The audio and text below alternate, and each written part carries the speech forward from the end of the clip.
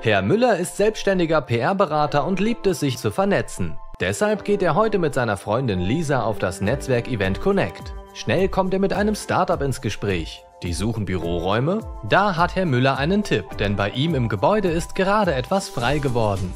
Nebenan lässt sich Lisa über eine neue Buchhaltungssoftware für ihre Firma beraten. Durch die branchenübergreifenden Aussteller und Besucher können die beiden für zahlreiche Arbeits- und Alltagssituationen Kontakte knüpfen. Die meisten Unternehmen sind sogar regional ansässig, sodass ein persönlicher Kontakt möglich ist und die regionale Wirtschaft gefördert wird. Im Anschluss lassen die beiden den Abend entspannt auf der Afterwork ausklingen und kommen hier noch mit einem Schreiner ins Gespräch, der Herrn Müllers Sohn ein Praktikum anbieten kann. Herr Müller hat viele nützliche Kontakte geknüpft und kommt nächstes Mal wieder zur Connect, dann sogar als Aussteller. Mehr Infos gibt's auf connect-deutschland.de.